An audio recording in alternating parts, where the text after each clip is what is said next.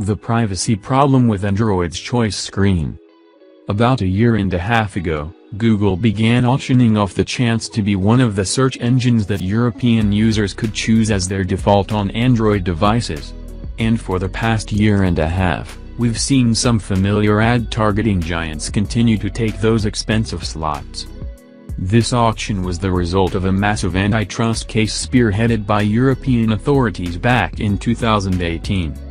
Aside from slamming the company with a $5 billion penalty, regulators also demanded that Google begin offering users a choice upon booting up their Android phones regarding the browser or search app they'd prefer to use, rather than requiring them to use Google's own.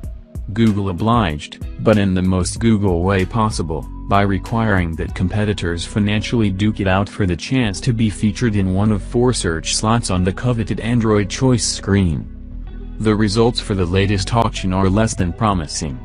When it comes to the choices, the truth is that tens of millions of Android users are largely going to be choosing between one of four non-Google options when it comes to search, Microsoft-owned Bing, GMX, which is owned by the German digital behemoth United Internet AG, or the ironically named Privacy Wall, which is owned by a major ad-tech outfit named Social Game Media. As TechCrunch points out, the one thing that all of these players have in common is reaping immense profits from tracking and targeting users across search, in a way that's strikingly similar to Google.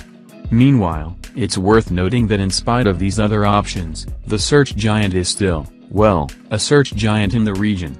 Aside from swallowing the majority of the search engine market internationally, Google pretty much takes upwards of 85% of the market share in European Union member countries.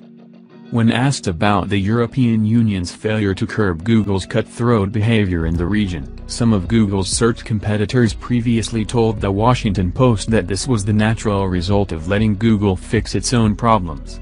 In other words, EU authorities literally let Google charge its rivals for the privilege of appearing on the Android selection menu, and challenge the company's dominant position in the process. Who did they think would win?